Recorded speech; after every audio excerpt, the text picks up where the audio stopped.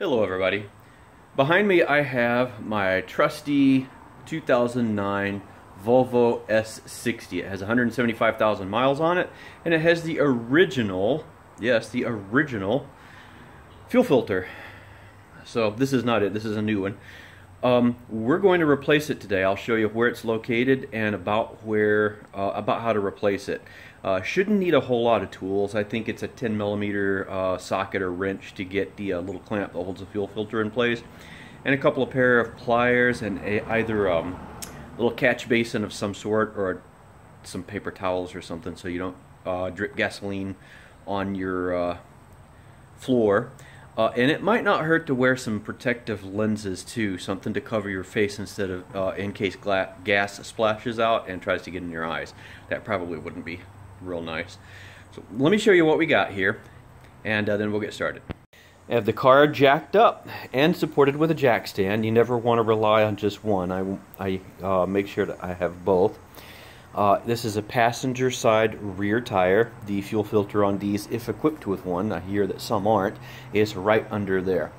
Um, I have today the MANN WK850 filter. Uh, this is the new filter right here.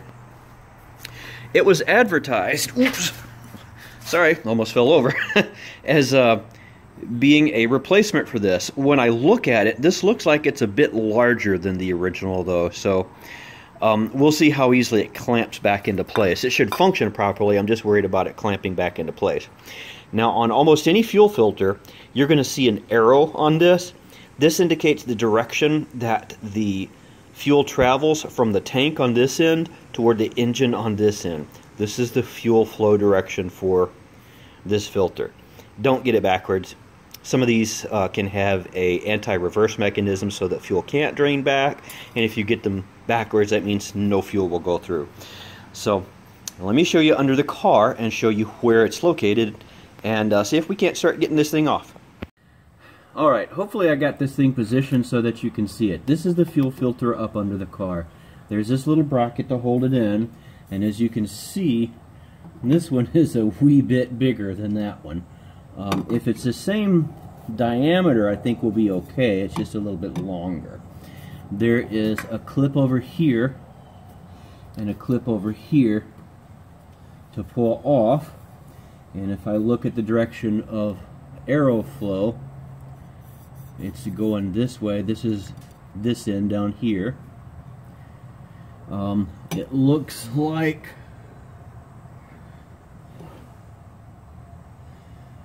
well hopefully want to make sure that the uh, hose clamps are the same size. Looks like they might be. Let's uh, first things first I got a pan up under here. Let's get this off. And that is indeed 10 millimeter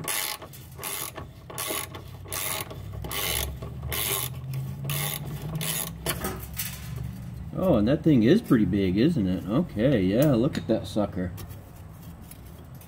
Open that up a little bit. Slide it off this way. And I think that'll fit on the uh, new one quite nicely. Alright, so we have this little clamp and there's a little push thing here on each side and I think all you've got to do is pinch those and the whole thing will come slide right off.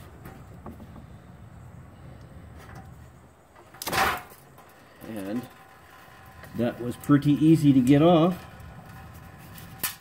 Let's see if this one's going to be just as easy.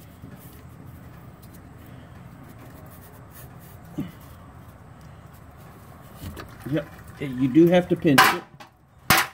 I'm getting gasoline all over everything. So it is a good thing I've got my drain.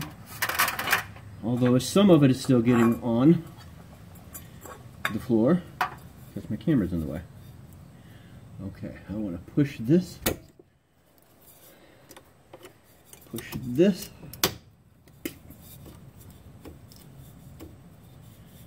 Make sure it's setting on there properly.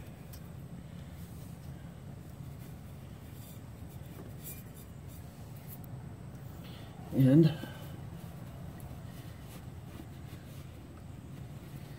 then I want to get my clamp back on here. Now notice on the clamp, I don't know if you can see it here, I'm going to push this out of the way, there's a little tab. This tab goes on the back side of the filter here to hold it in place.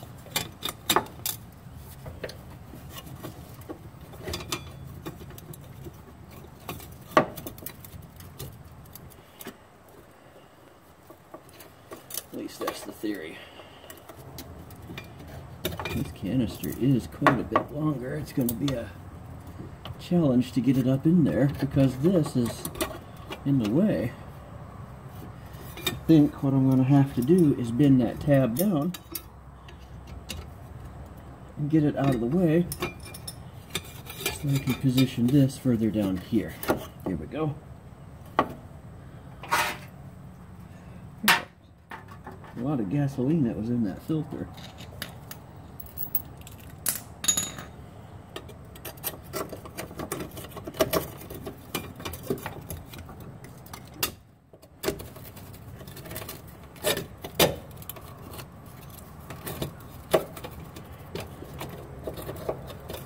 This is not easy to hold up in the place. There it goes, I think. Squeezing these things might have helped, but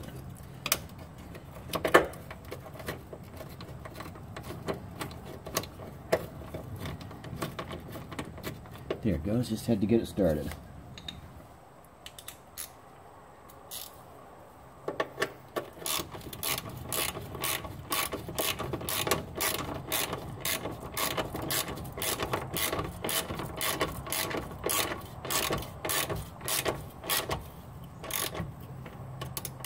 Okay, so I'm going to get me a rag. Be right back.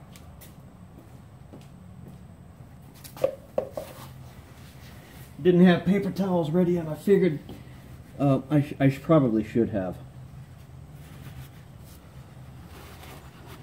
Dry that off there.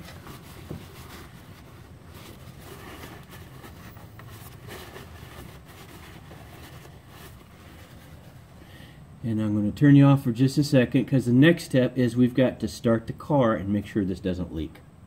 And as you can hear, the car is running and I have no leaks there. No leaks. Where'd you go? Right there.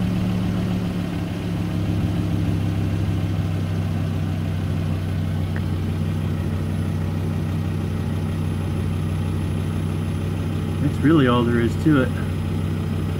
I have a little bit of fuel in the filter that I removed right down here in this pan.